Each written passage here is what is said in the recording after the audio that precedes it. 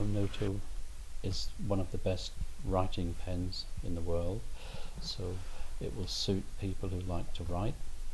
It's also aesthetic, it, it looks good and is traditional, and we have the ability to adapt the nibs to suit anybody's hand. You just asked me about the sandwiches again. I said, hang on. Hey, good, good. All the same, yeah. With our Onoto pens, we marry tradition, traditional craftsmanship, with modern technologies.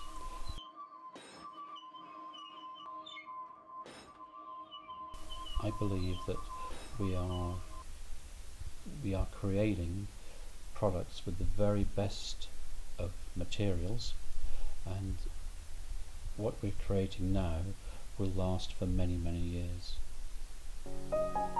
We always refer to the people who own an Onoto as custodians because each person becomes the custodian of their pen.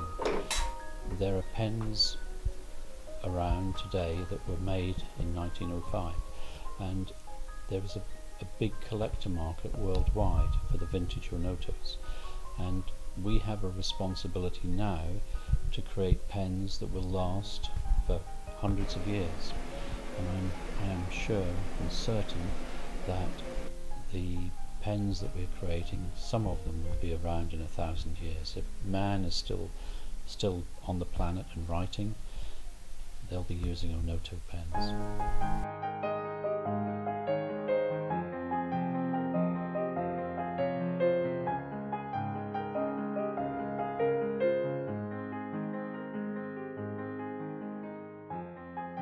Do like to think of ourselves as different because I think if you're eccentric, if you're different, you're always looking to do unusual things and I think with Onoto we're looking at new ideas and how to how to improve the, the product, how to improve the experience of ownership.